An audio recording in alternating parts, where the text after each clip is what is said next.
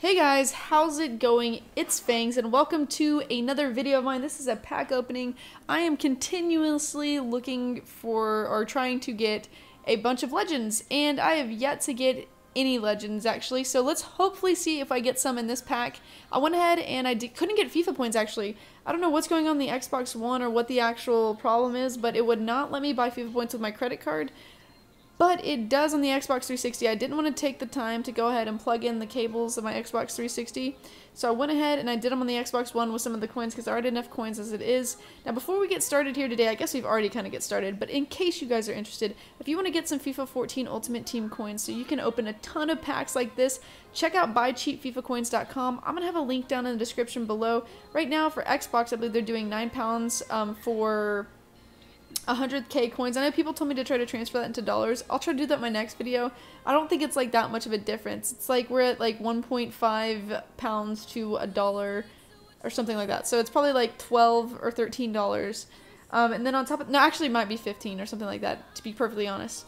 Um, I'm going way into that anyway. So link in the description down below. Go ahead and click on that. Go check out some cheap FIFA coins.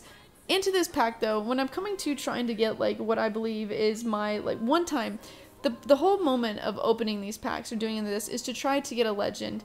And with every single YouTuber that has been out there, not one of them, I don't know if I've seen it yet, but I'm pretty sure I haven't seen it because if they did, it would have a million views on it already. Nobody has opened a legend and had it live to where they can put it on YouTube.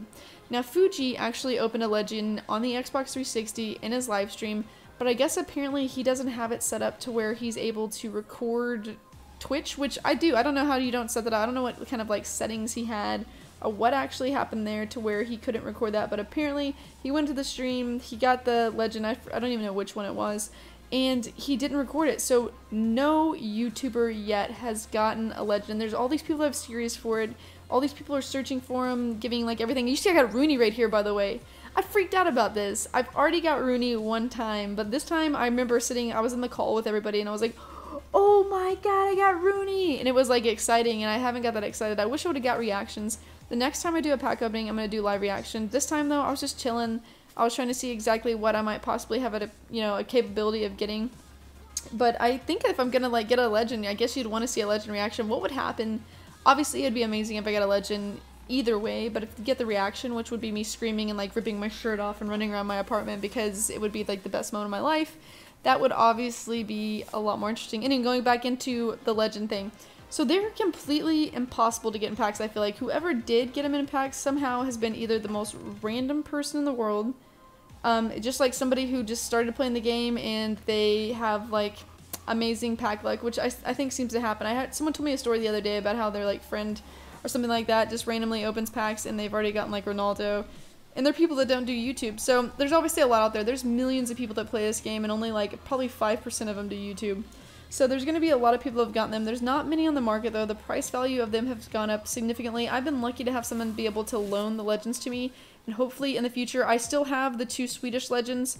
Um, I told you guys if you got a certain video to 500 likes, then I would go ahead and I would try to build a better team with those legends because I lost mad games with them which I, have always like people have brought up if they have like handicap or if anything's going on with him. I had one. I think it's. I'm gonna say his name. I might mess it up. Ljungberg. I did really well with him. He was amazing. Um, he scored a lot of my goals. He set up really well with Ibra, who I used on the Swedish team. But then I also had Larsson, who I played 17 games with, and I didn't score any goals. Now I had him in a center attacking mid position, which he normally plays striker.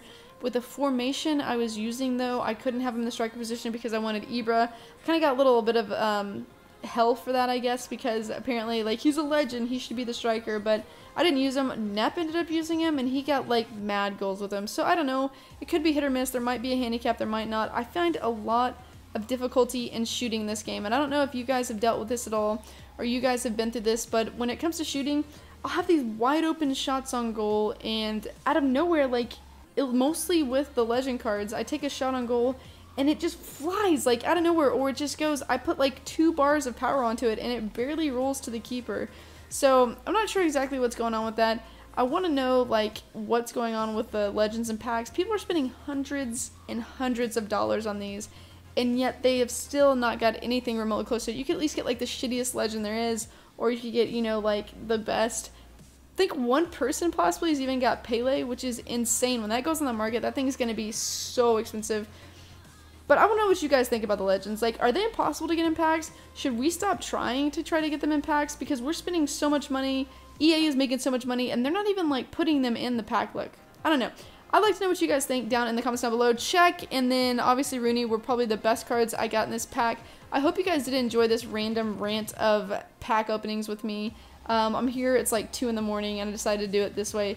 Anyway, thanks for watching this video, guys. I hope you did enjoy it. If you did, don't forget to that thumbs up button. Can we get this video to say like 4 to 500 likes? I'd really appreciate that. I love it. We are literally like 1,300 subs away from 50,000 subscribers. Thanks for being so supportive. I love you guys. Throw up a heart in the comments down below if you love me back. Thanks for watching this video, and until next time, I'll see you guys later.